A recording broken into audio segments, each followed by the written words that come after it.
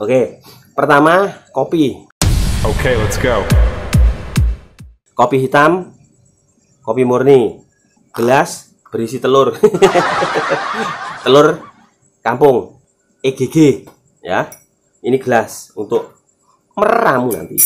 Madu dan lada. Ini ladanya sudah tak gerus. Supaya halus, langsung saja saya praktekkan. Pertama, masukkan kopi. Kopi murni, sesendok makan saja. Pertama itu kopi.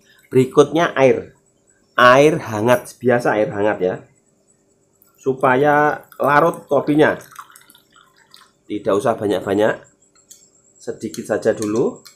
Diaduk-aduk. Caranya begini. Kelihatan kan? Nih. Diaduk-aduk begini, tambahin kurang. Kemudian diisi madu dulu ya. Biasa madunya satu setengah sendok teh. Ini karena ukurannya satu satu setengah sendok teh ya. Tak jadiin satu saja.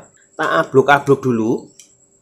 Pleketuk pleketuk jadi bikin jamu itu harus dengan hati ya. Harus dijupa japu nambani anu asu.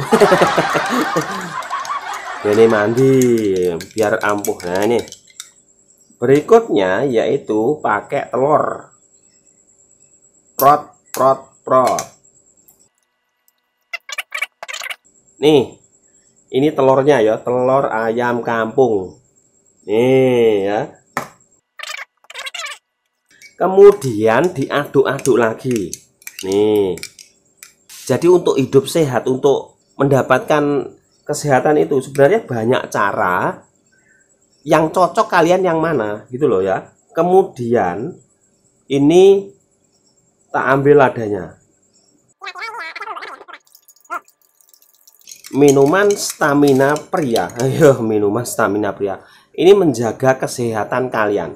Ini caranya begini ya. Diaduk-aduk kemudian diminum ya.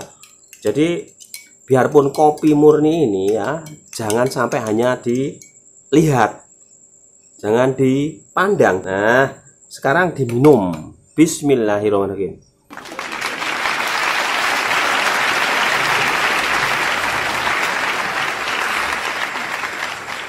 Sama ampas-ampasnya. Nah ya.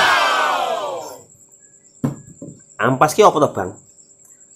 Orang Jawa bilang itu namanya CT biasanya kalau dulu orang dipakai campuran apa itu? R itu loh ya yang disulut nah begitu caranya ya